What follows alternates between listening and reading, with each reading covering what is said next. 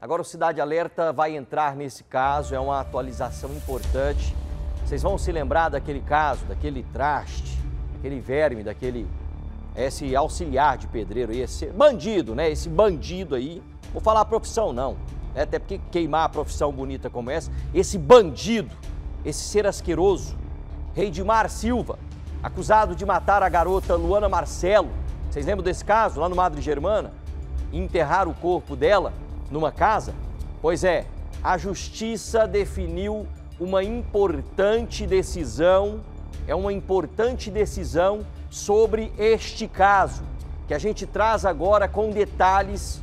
Douglas Fernandes junto com a família da garota. Douglas, o programa é seu.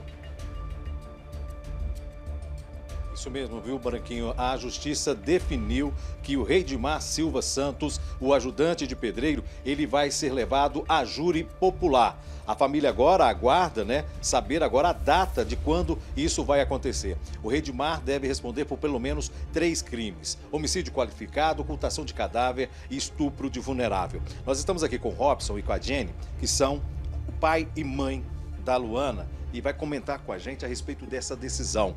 O que, que vocês acharam dessa decisão, ele ir a júri popular? O que, que vocês contam pra gente? Boa noite.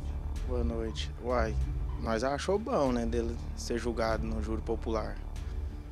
Né, e o que a gente quer é justiça. Nós quer que, que ele cumpra tudo aquilo que for determinado pela lei. Porque é só o que restou para nós. Nossa filha, nós não tem jeito de pegar ela para trás mais. Mas que que ele seja julgado e punido pelo que ele fez.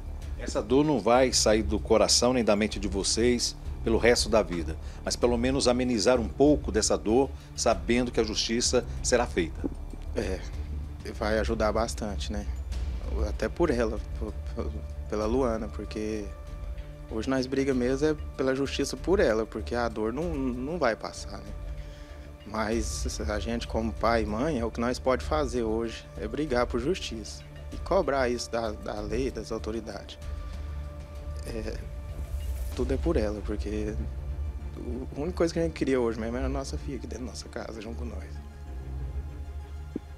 Você pegou a gente de surpresa agora há pouco, porque você disse que esse quadro vocês retiraram aqui da sala, deixou ali no quarto para não ter tanta a imagem da sua filha aqui para vocês sofrerem menos. Aí você decidiu agora há pouco colocar esse quadro aqui para que as pessoas lembrem da sua filha. Isso, lembre da dor que nós passou, porque como é um, um juro popular, as pessoas que for julgar ele tem que saber que ele fez nós sofrer e tem feito. Né? Saber que ele mexeu com uma criança inocente, nunca fez um mal para ele. Né? Uma criança, ele mexeu com uma criança. criança não faz mal para ninguém.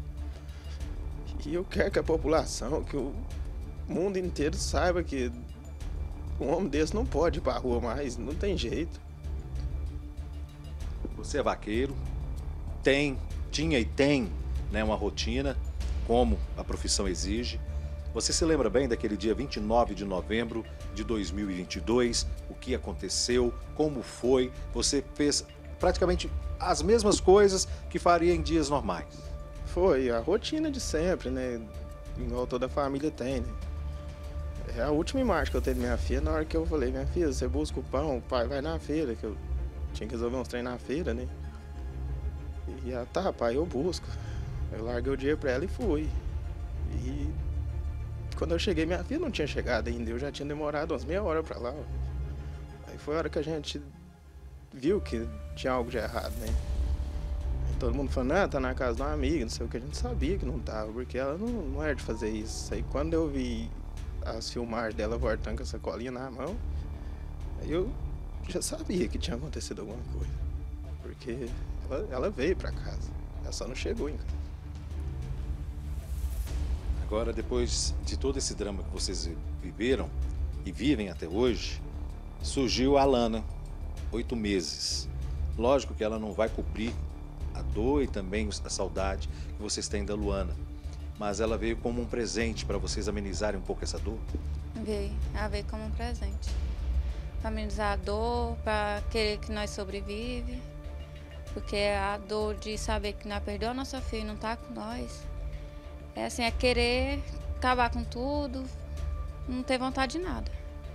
Aí veio ela, a vontade de viver, né?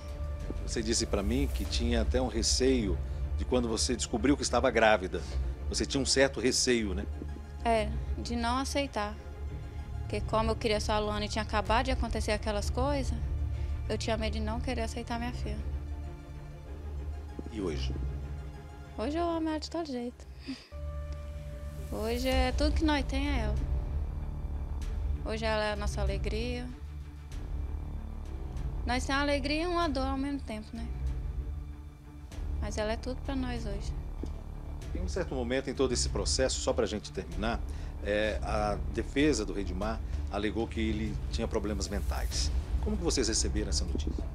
Uai, eu achei isso uma coisa de gente à toa, né? Porque ele não tem problema mental, não foi a primeira vez com a nossa filha.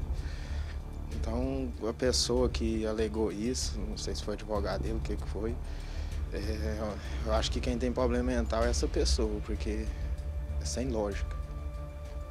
Muito obrigado pela participação, Branquinho. E só lembrando que logo depois do caso da Luana, a polícia descobriu que o Redmar teria também assassinado a Thaís, uma criança de 13 anos na época, em 2019. Só que o julgamento a respeito deste crime ainda não foi decidido o que será, o que vai acontecer a partir de agora, se ele também será julgado num júri popular. No caso da Luana, a família fica aqui nessa apreensão, aguardando a decisão da justiça para saber que dia ele vai estar no banco dos réus. É, Douglas, passou um filme na minha cabeça aqui, porque o caso Thaís de 2019, eu, eu acompanhei de perto na época como repórter.